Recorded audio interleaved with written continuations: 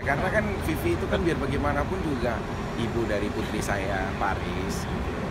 Ya adalah sisi di mana kemarin mungkin kita ya, ya sedikit eh, apa ya tidak care karena kondisinya nggak bisa berkomunikasi gitu. Karena biar bagaimanapun Paris kan kalau ditanya lucu gitu di videoin dikirim papinya siapa papinya Dengan eh, kejadian ini kan ya Vicky mengakui aku nggak bisa komunikasi mungkin kalau semua udah selesai nanti kan saya juga minta untuk berkomunikasi normal untuk bahas soal anak.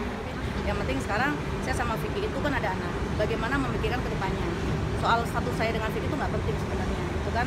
Eh, saya nggak pernah mau memusingkan itu gitu. Nggak mau mempermasalahkan. Yang penting ini anak masa depannya gimana? Masa depan gimana? Biayanya bagaimana? Gitu. Itu aja sih. Membagi waktu untuk Parisnya bagaimana?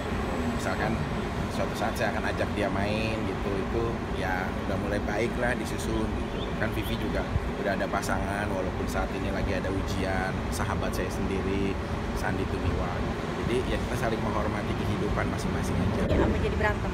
Kan ada anak. Pengen rujuk pengen damai. Aku nya nggak mau. Artinya dia minta ketemu aku menghindar.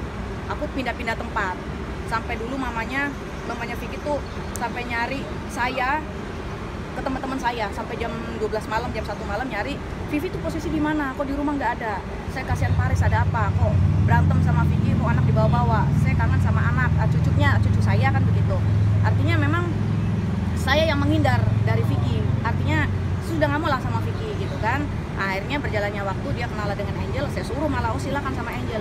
Yang pasti tanggung jawab kamu ke saya anak eh, yang mobil itu diganti dan anak juga dinafkahi aku bilang begitu. Cuma memang saat itu Vicky bersedia. Saat itu ingkar lagi begitu. Sampai akhirnya oh, Vicky keluarga Vicky mungkin dikompor-komporin sama Angel atau sebaliknya saya nggak tahu. Akhirnya saya diserang balik kan begitu. Malah mempermasalahkan masalah status perkawinan. Buat saya status perkawinan itu nggak penting.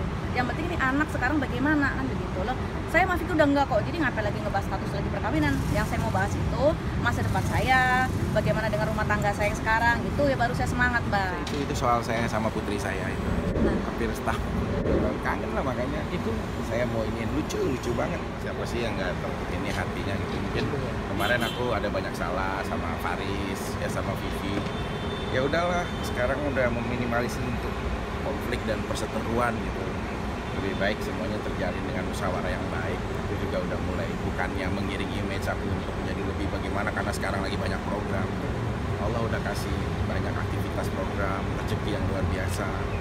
Jadi ya fokus aja. Terus ada beberapa manajemen juga kan untuk saya pun punya manajemen untuk lebih fokus eh, di karir. Karena tanpa berita pun jam syuting kita kan udah ada pagi syuting siang stripping ini sore harus ada stripping sampai malam ini gitu jadi udah nggak ada harus hal yang kayak gitu itu aja sih Kiraan di rumah sakit memang benar adanya dulu namanya tuh Paris Eluera Prasetyo. Itu permintaan dari Vicky harus ada Prasetyonya. Begitu konflik saya ubah lagi di rumah sakit dengan nama eh, lain begitu. Jadi ya memang eh, apa sih namanya di akte kelahiran pun udah sudah tidak ada nama Vicky lagi. Anak nafkain deh. Nama tuh nggak penting gitu. Sih, pengennya sih minimal setiap weekend kan aku ada libur hari minggu ya aku bisa ketemu sama Faris bisa ajak gitu mungkin kalau itu kan ada sama pasangannya ya aku paling sama mbaknya paling sama Faris mau aku bawa main gitu-gitu aja lah. Kasihan biar dia juga nanti sampai besar saat di sekolah juga dia tahu gitu loh bahwa papa eh, biologisnya memang kehidupan masing-masing. Kan eh, Mbak Vivinya saat ini sama sahabat aku juga Mas Andi Tumiwa. Aku terlepas aku nggak tahu ya ada apa mungkin lagi ada ujian kan Mas Andinya gitu. Tapi ya aku hormati rumah tangganya mereka gitu tanpa yeah.